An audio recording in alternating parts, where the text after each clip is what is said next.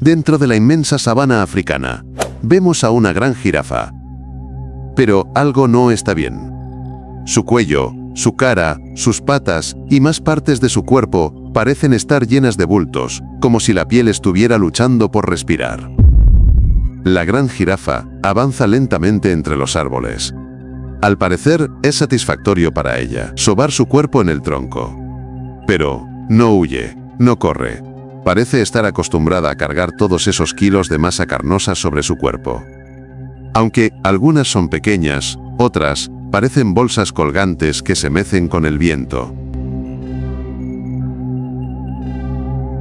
Y este conejo, a miles de kilómetros de distancia de la jirafa, dentro de los Estados Unidos de América, se mueve con dificultad.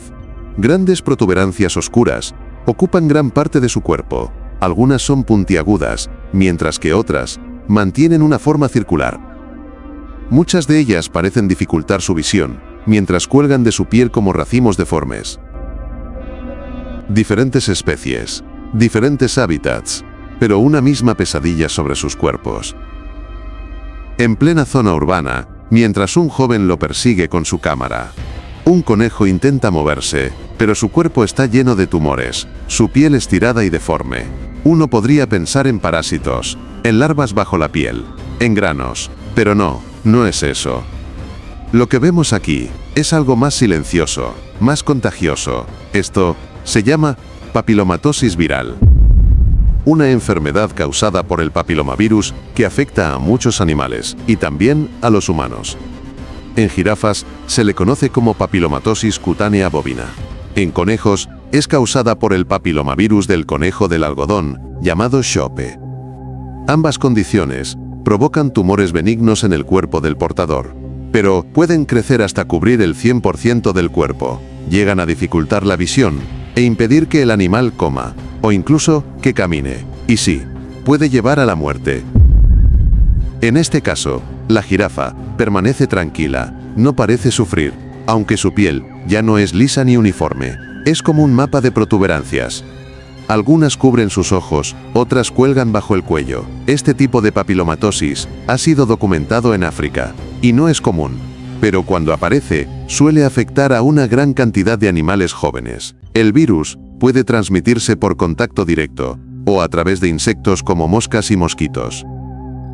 En bovinos, se ha demostrado que las moscas y garrapatas pueden propagar el virus del papiloma bovino al transportar el virus de un animal infectado a otro, especialmente cuando estos insectos se alimentan de sangre y crean pequeñas heridas en la piel, facilitando la entrada del virus. Respecto al segundo caso, el conejo se ve más afectado. Los tumores han invadido casi todo su rostro. Apenas puede moverse. El virus SHOP fue uno de los primeros papilomavirus animales estudiados en la historia. Fue clave para entender cómo ciertos virus pueden causar cáncer. En aproximadamente el 25% de los casos, la infección por el virus del papiloma de SHOP puede evolucionar hacia carcinomas cutáneos en conejos, es decir, provocar cáncer en la piel. Estos tumores normalmente son benignos, pero si se infectan, la muerte no tarda en llegar por ellos. Pero, ¿Esto puede contagiarse a los humanos? Debemos entender que los papilomavirus son específicos de especie. Es decir, el virus del conejo no puede contagiar a los humanos. Pero el papiloma que afecta a humanos, el llamado VPH, es de la misma familia. Como hemos apreciado en los vídeos, las zonas más afectadas en animales suelen ser la cara, cuello, extremidades y zonas genitales. Esto depende del tipo de virus y del modo de transmisión no existe un tratamiento definitivo. En animales salvajes, lo más común es dejar que el sistema inmunológico haga su trabajo. A veces se caen solos o reducen su tamaño sin tratamiento. Otras nunca desaparecen y el animal debe vivir con esa condición. En animales domésticos o de granja puede aplicarse cirugía o crioterapia, pero en la naturaleza eso rara vez sucede.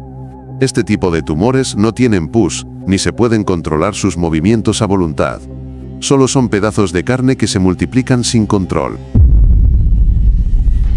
Aquí tienes otros vídeos. No te vayas sin dejarnos un me gusta y comentar el vídeo. Suscríbete, es gratis.